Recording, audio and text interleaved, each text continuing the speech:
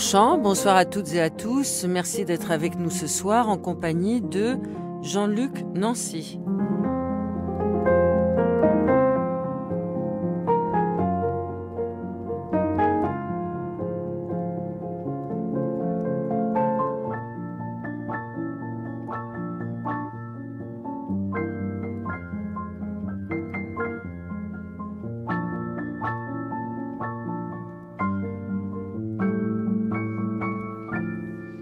Jean-Luc Nancy, vous êtes euh, l'un des philosophes les plus importants.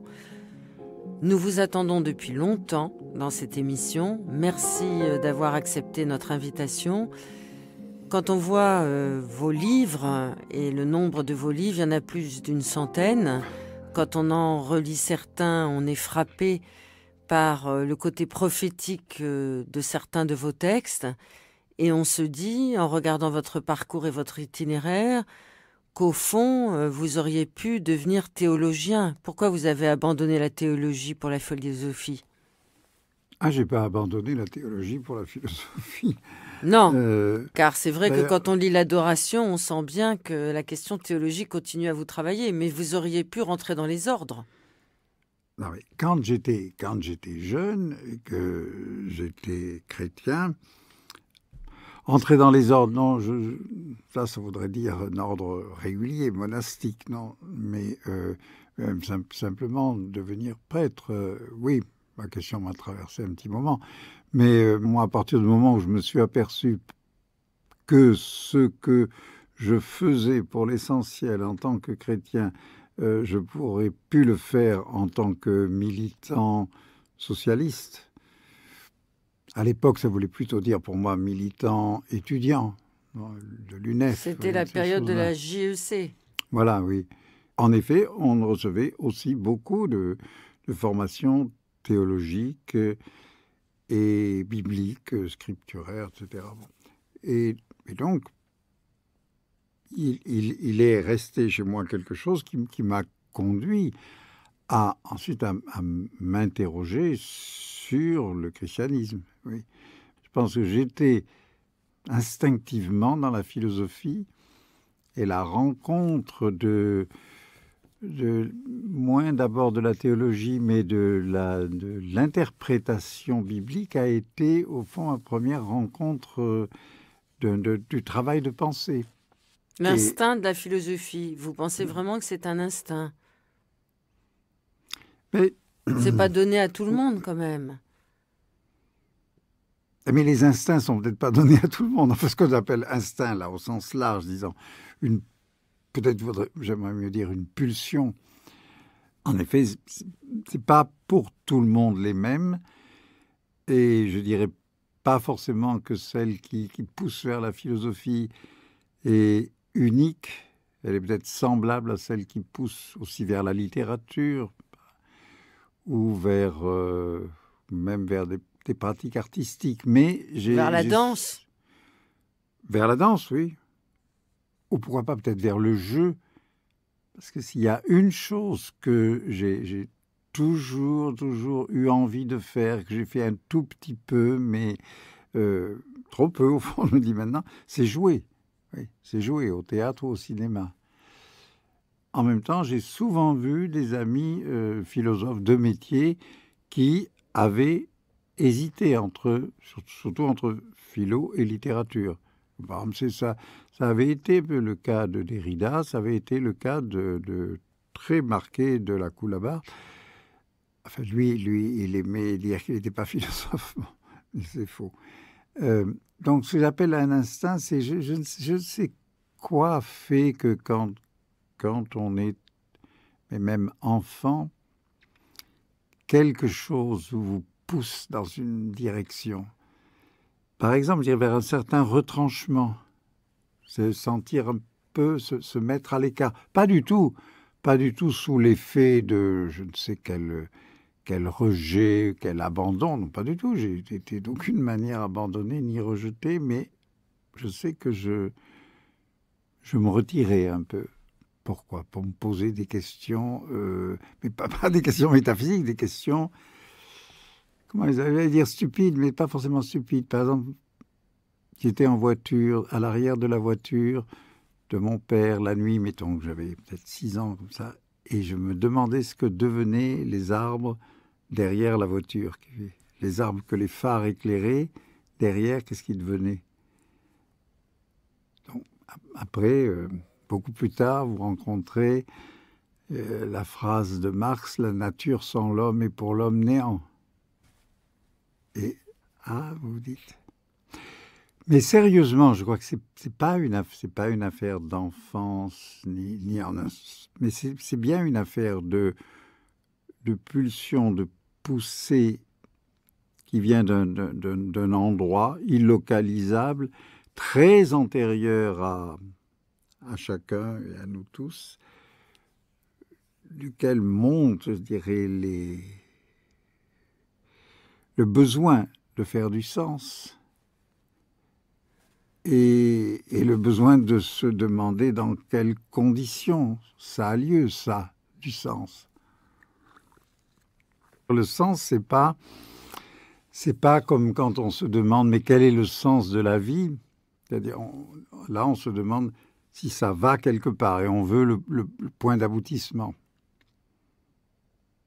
Vous savez, il y a un endroit, il y a une lettre dans laquelle Freud dit, je ne sais plus qui, que dès, que quelqu'un se demande quel est le sens de la vie, il est déjà un peu malade. Donc, ne pas être malade, c'est justement ne pas se poser cette question-là du sens. Mais en même temps, plutôt d'autre part, on peut dire, ben, le, oui, le sens, c'est que ça circule.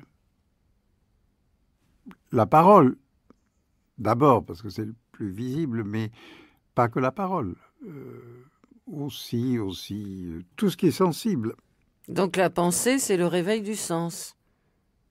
Oui, ou l'éveil même plutôt l'éveil. L'éveil, c'est que que qu'il faut que du sens s'éveille et toujours et toujours à nouveau, puisque il est il est pas fait pour aboutir. Donc euh, euh, oui. Et comment et à quelles conditions ça s'éveille La philosophie, vous savez, ça, la philosophie, n'a pas toujours existé. La philosophie, ça commence à, un moment euh, relativement précis. En gros, sixième siècle avant notre ère. Et ça commence quand les dieux ont commencé à disparaître. C'est-à-dire quand il n'y a plus une vie religieuse euh, pour une communauté donnée, en général rurale, euh, villageoise, ou bien, ou bien à, grande échelle des empires, euh, euh une théocratie, donnant ordre et, si on veut, sens à, tout un ensemble. C'est au moment où tout ça euh, s'en va dans l'histoire qu'apparaît ce qu'on appelle d'une part la cité, qui est justement ni le village ni l'empire, et qui est le, groupement des gens qui est tel que euh, ces gens ont à se donner eux-mêmes les règles de leur fonctionnement et ne le reçoivent de, de nulle part. Mais c'est là-dedans qu'arrive la philosophie. Et la philosophie, c'est... C'est l'épreuve de l'autre. Et ça se joue dans un espace euh, de langage.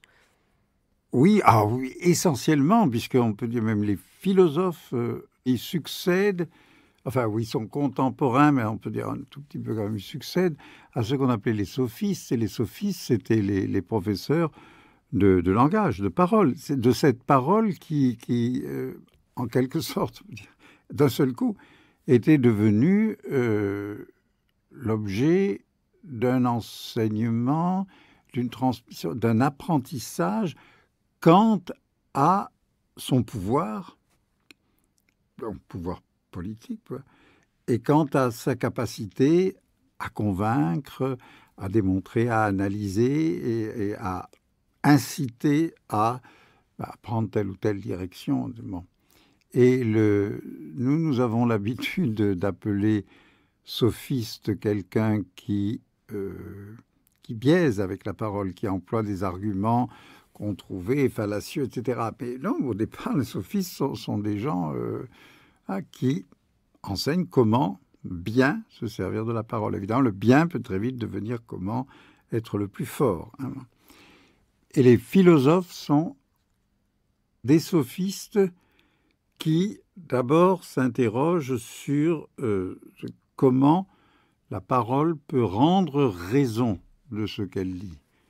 Là, on pourrait dire que la démarcation, elle est là. Le sophiste ne demande pas comment elle peut rendre raison, il s'agit plutôt d'avoir raison, d'être, plus habile, plus fort pour, pour avoir raison. Mais on peut avoir raison en ne disant pas la vérité. C'est un des supports aussi des bases de la philosophie. Et oui, mais et donc la philosophie, oui, elle, euh, on peut dire, elle, demande qu'est-ce que la vérité? Alors que hors philosophie, la vérité, elle est, elle est déjà là. Elle est donnée. On ne demande pas qu'est-ce que c'est, à quelles conditions est-elle possible, etc. Non, on, on demande, je veux dire, hors philosophie ou avant philosophie, non, on ne demande rien. On dit la, la vérité, c'est ce que dit le Dieu, ou c'est ce que dit le prophète, ou c'est ce que dit aussi l'empereur, mais souvent c'est le même, l'empereur, il est, il est prêtre, prophète.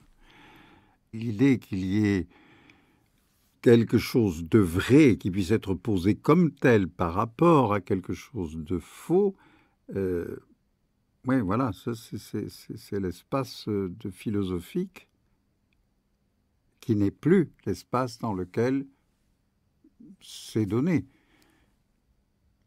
À la limite, c'est pas un espace de vrai-faux. C'est l'espace antérieur ou extérieur. C'est un espace plutôt de, de juste-injuste, de bon-mauvais. On ne fait pas ce qu'il faut, plutôt que on dit faux. Alors oui, voilà. Et ce qui est, ce qui est important, c'est que de ce moment-là euh, date quand même une tout ce qu'on appelle une civilisation, mais je dirais c'est pas c'est un mot un, peu faible, un peu étroit. C'est toute une forme de vie qui est devenue celle de l'humanité. évidemment, c'est une humanité dans laquelle il y a, il y a des, population entière qui reste dans un régime religieux, c'est-à-dire où la vérité est donnée. Mais il n'y a pratiquement presque plus de, de population, sauf quelques-unes peut-être extrêmement réduites, qui ne soient pas au contact de l'espace dans lequel il faut forcément s'interroger sur les conditions d'une vérité ou sur ce qui fait du sens. Les deux choses n'ont pas exactement la même, mais enfin, elles se, elles se recoupent. C'est-à-dire qu'il n'y a, personne qui soit totalement en dehors de l'espace euh, des techniques, de tout le rapport aussi avec, ce qu'on appelait avant la nature. Euh, il n'y a personne qui soit totalement en dehors, au fond, de l'espace politique défini justement comme en dehors de toute espèce de théocratie, donc l'histoire de la philosophie, curieusement, on pourrait dire, elle se confond avec euh, l'histoire, disons, de cette culture qui a fini par devenir mondiale. Et c'est quand même une chose très étrange, parce que ça n'a jamais existé. Et nous sommes même euh, peut-être seulement au début de l'existence vraiment complètement mondiale de cette euh, culture. Et c'est aussi, je crois, pourquoi dans les pays, dans les, vieux pays de cette culture, c'est-à-dire les, pays européens, d'abord, il y a euh, une telle euh, demande de philosophie. Vous voyez bien, aujourd'hui, euh, aujourd'hui, les livres de philosophie, de philosophie, comment dire, un peu technique, se vendent très mal. Disons, mes livres, par exemple. Mais les livres de philosophie euh, tourné vers l'initiation, vers le, commentaire de, grands livres que tout le monde connaît, mais que personne, au fond, n'a vraiment lu ou ne peut pas vraiment lire, que ce soit la République de Platon ou le, ou le contrat social de Rousseau, bon, ou, alors simplement les, sortes de, leçons sur des notions, beaucoup d'ailleurs de notions morales ou psychologiques. Ça, ça fait florès, se répand partout. Je crois que c'est parce que le mot philosophie représente pour beaucoup de gens ah, la possibilité de la vérité ou du sens. Nous allons entendre la voix de Heidegger. C'est la seule archive qui existe, qui va lire un poème de Holderlin. C'est une archive qui a été diffusée dans Poésie ininterrompue du 14 janvier 1975. Heidegger lit Holderlin. Freilich wo das Geburtsland ist, der Boden der Heimat. Was du suchest, ist nahe, begegnet dir schon, und umsonst nicht steht, wie ein Sohn am wellenumrauschten Tor und ziehet und sucht liebende Namen für dich mit Gesang, ein wandernder Mann, glückseliges Lindau.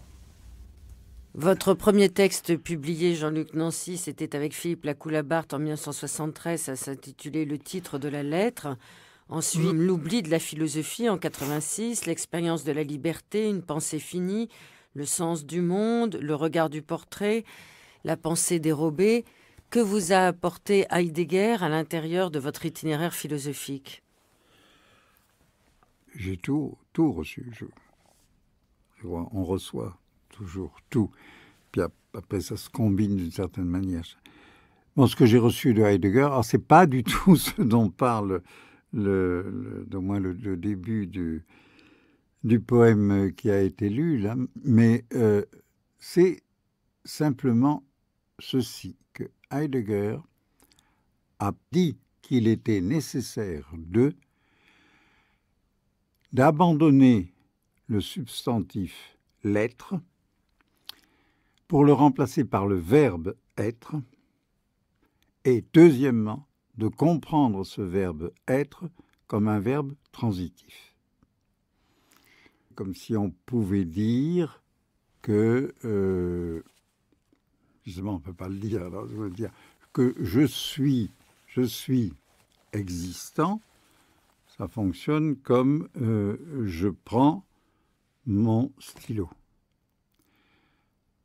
C'est-à-dire qu'il y a une action, un verbe transitif, il exerce une action sur euh, son complément d'objet.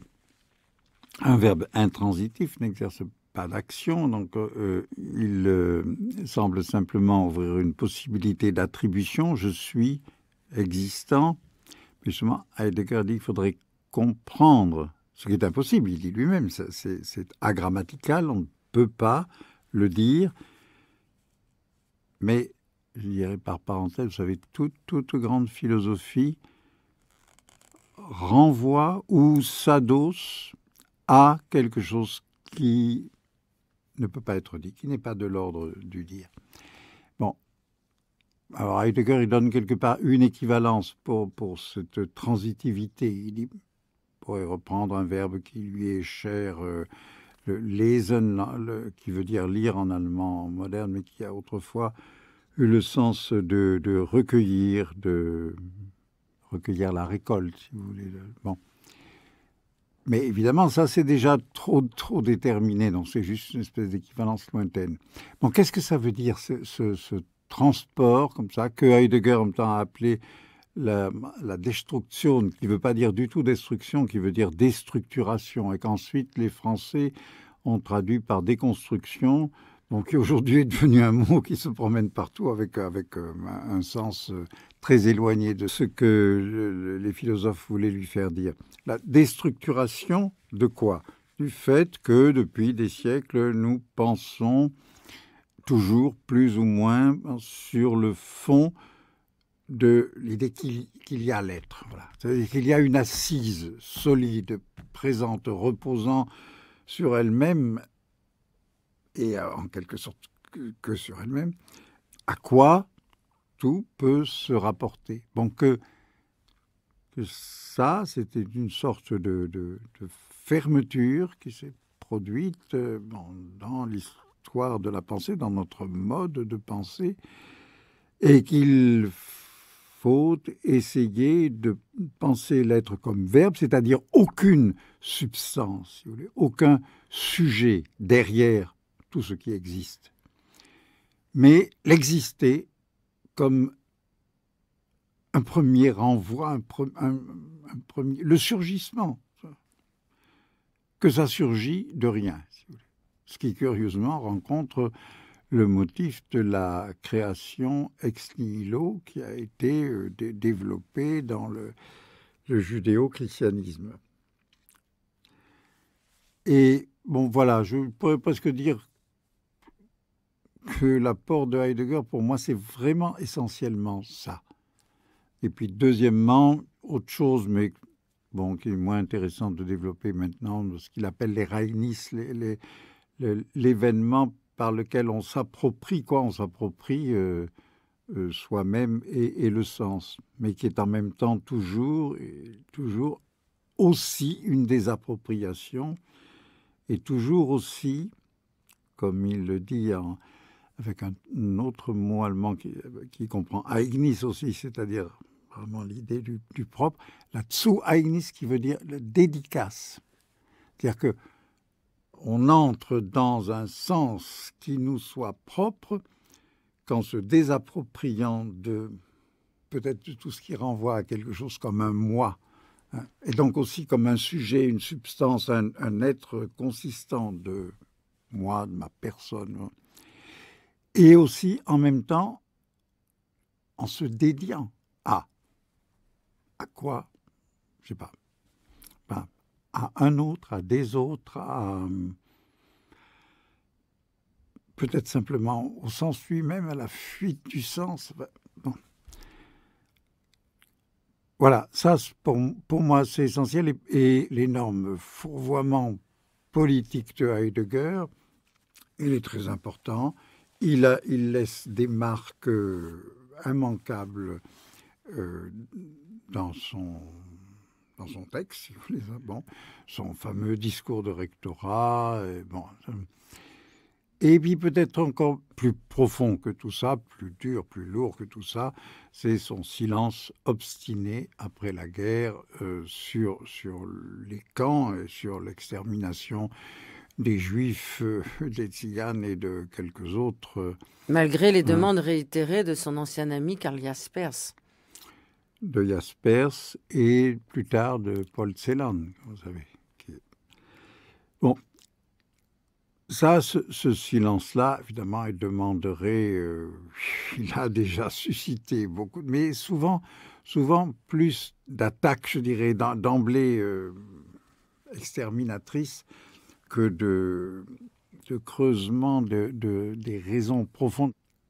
Je dirais de, de même qu'il est toujours trop vite fait de, d'expédier le nazisme comme euh, oui, une horreur, une horreur, mais imputable à, à quelques euh, très méchants, n'est-ce pas? Voire à tout un État, lui, très méchant. Et de même aussi, alors de la part de Heidegger, je crois qu'il était beaucoup trop léger de, de penser qu'il fallait insister pour dire qu'il fallait voir plus loin. Mais ça n'empêche. Ça, je crois, n'importe qui, je dirais, de bon sens à l'intérieur du, travail philosophique le sait. Euh, ça n'empêche que le, coup porté à l'être, si vous voulez, par Heidegger, ou le, comme ça, le surgissement de cette question de l'être, bon, ben, voilà, c'est aussi important que ce qui s'est passé euh, avec, euh, disons, entre Kant et Hegel au début du 19e. Voilà. Donc voilà, pour, moi, il reste, bien sûr, il reste là une sorte de, coup d'envoi bah, sans, le, sans lequel, je sais pas, j'aurais en tout cas pas du tout travaillé de la même manière. Nous allons écouter Lily Marlène car vous êtes un grand philosophe, mais vous aimez aussi beaucoup la danse, beaucoup le dessin, beaucoup la peinture, et aussi beaucoup la musique. Et il paraît que vous avez un grand regret, c'est de ne pas savoir chanter. Ah, non, c'est de ne plus pouvoir. Oui, pas savoir parce que j'ai jamais appris, mais alors qu'à un moment j'ai failli, j'ai failli apprendre et puis bon, c'était trop tard. Mais euh, c'est plutôt de ne plus pouvoir chanter maintenant parce que j'ai quand même la, la voix abîmée, mais quand j'étais jeune, je chantais beaucoup. Tout que chantiez-vous? Non, mais des chansons, voilà, toutes les chansons, plutôt, plutôt avec d'autres aussi. Ah, dans les chorales? Non, non, non, pas dans des chorales, plutôt dans, les, dans, dans des rencontres euh, de jeunes, comme ça. Ah, ça, c'est quand vous étiez aux jeunesses chrétiennes. Voilà, voilà, oui. Mais même tout seul, oui, j'ai beaucoup chanté, oui. Bon, et Lily Marlène, alors, ça vous plaît? Ah oui, oui, c'est une de mes chansons préférées. C'est une chanson magnifique, Marlène.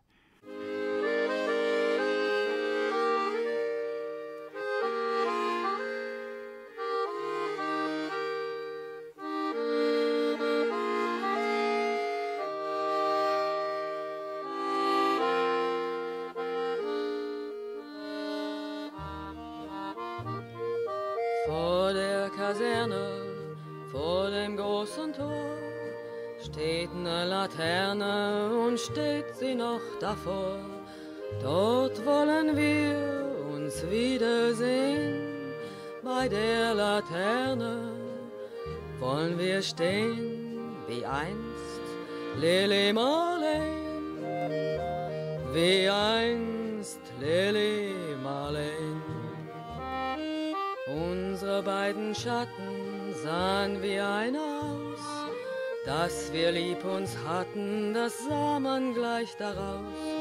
Und alle Leute sollen es sehen, wenn wir bei der Laterne stehen, wie einst Lily Marley, wie einst Lily Marley. Deine Schritte kennt sie, deinen schönen Gang alle Abend brennt sie, doch mich vergaß sie lang. Und sollte mir ein Leid geschehen, wer wird bei der Laterne stehen? Mit dir, Lili Marley, mit dir, Lili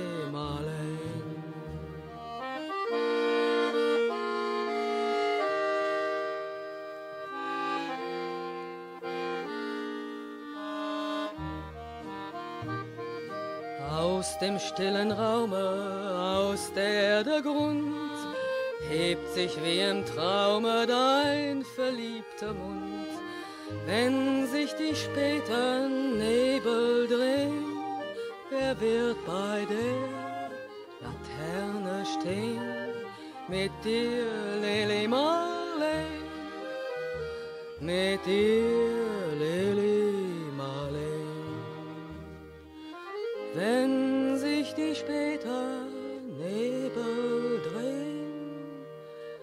wird bei der Laterne stehen? Mit dir, Marley,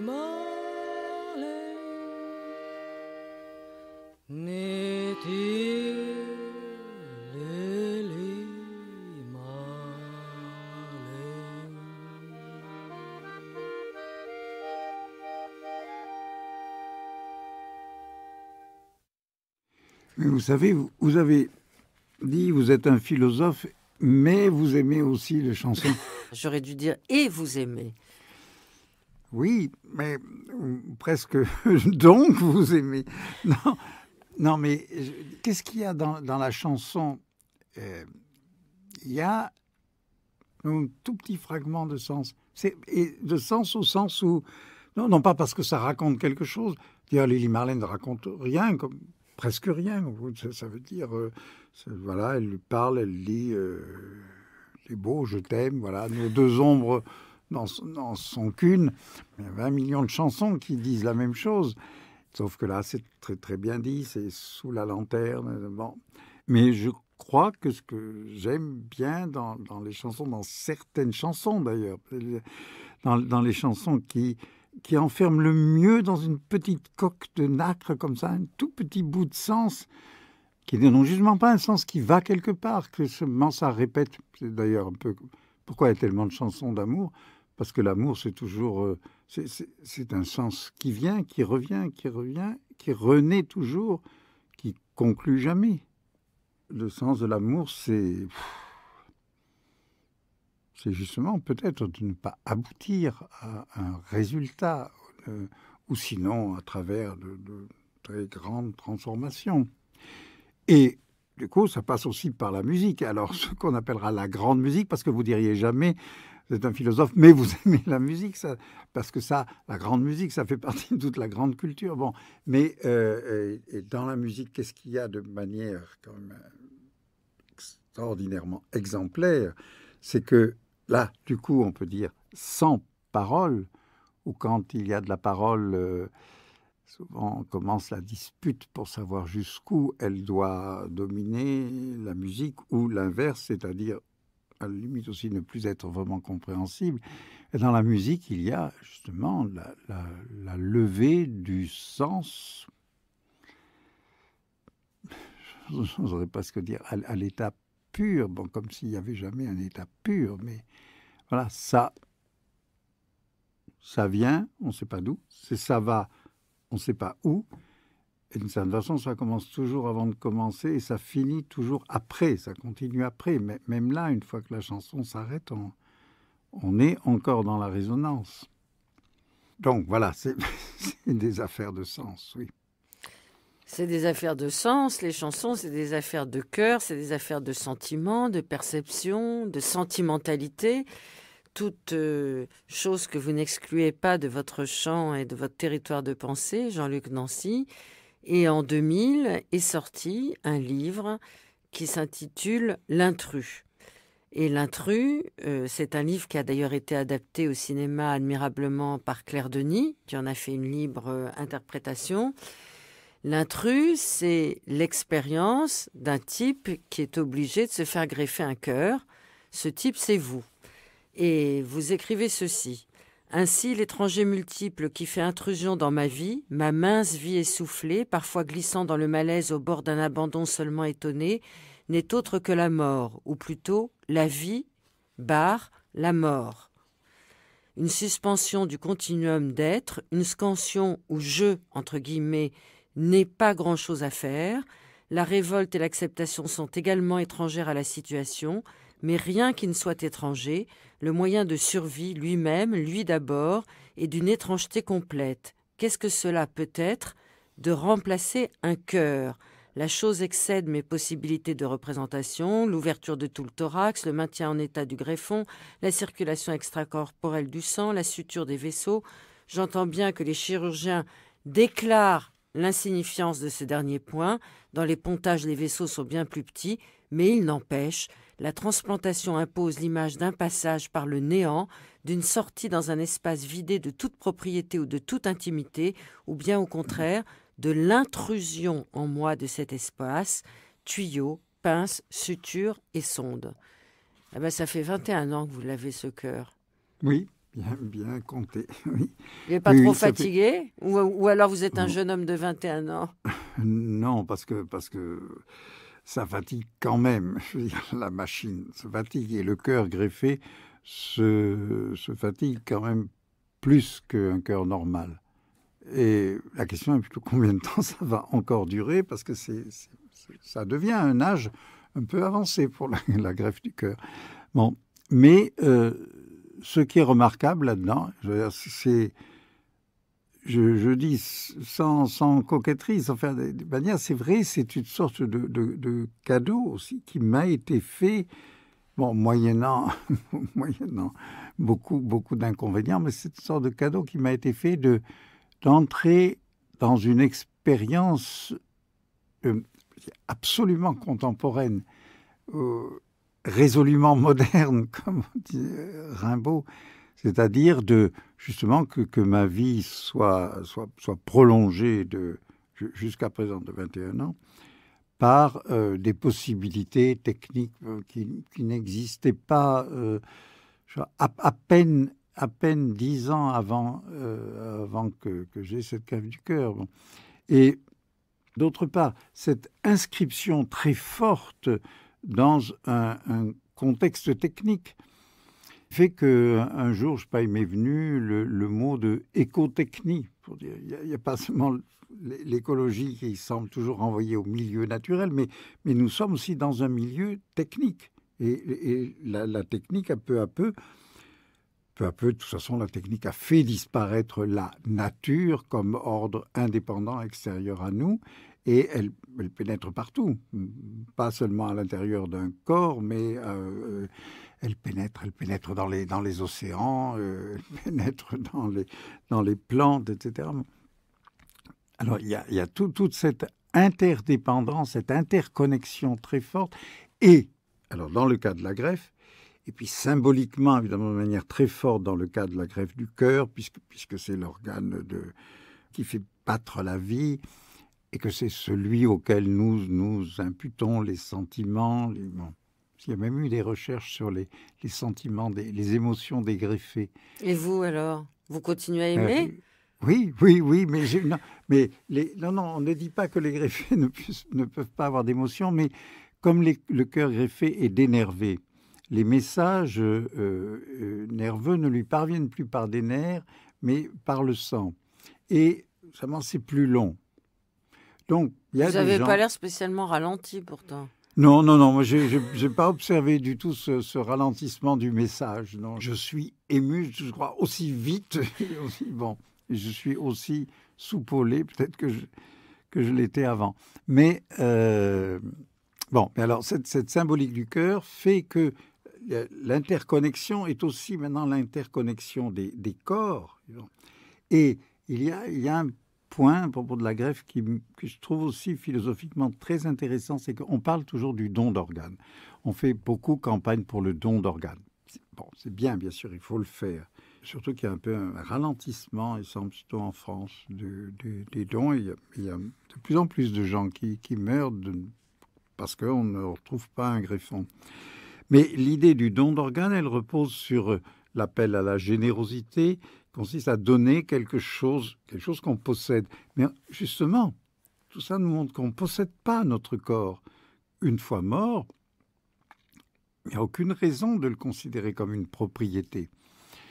La greffe, elle nous apprend qu'il y a un, échange, un partage, une, une interconnexion de, de, nos corps et que c'est très bien si on peut prendre le cœur, de quelqu'un de mort et le, donner à quelqu'un d'autre.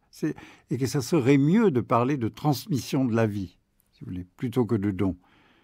Et je trouve que c'est une excellente leçon quant à la propriété.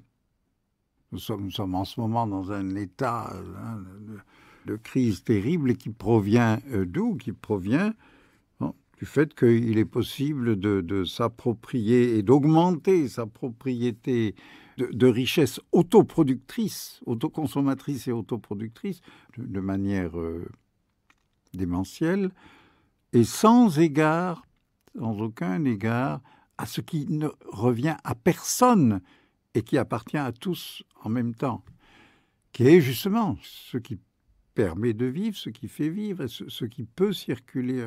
Il n'y a, rien qui soit plus, plus opposé justement à l'idée même du sens que la propriété fermée. Et, alors pour ça, la, la, greffe, c'est quand même quelque chose de d'exemplaire En tout cas, vous, vous êtes bien vivant. L'avant-dernier livre que vous avez publié s'intitule L'adoration des constructions du christianisme 2. Le dernier s'intitule Dans quel monde au pluriel vivons-nous avec Aurélien Barrault et je crois savoir que vous allez en publier un très prochainement. Oui, je vais en publier un au, au mois de mars, oui, qui, euh, qui s'appellera euh, l'équivalence des catastrophes et qui est le, le développement d'une conférence que euh, des Japonais m'ont demandé de faire par vidéoconférence parce que préfère ne pas faire maintenant de, grands voyages, sur le thème de philosopher après Fukushima. Et justement, je suis, je parti dans la direction de cette euh, interconnexion générale dont, je vous parle. C'est-à-dire, ce que nous apprend Fukushima, c'est pas seulement que l'énergie atomique, euh, c'est très dangereux, très risqué, que peut-être il faut s'en débarrasser, peut-être, peut-être il faut la pratiquer autrement.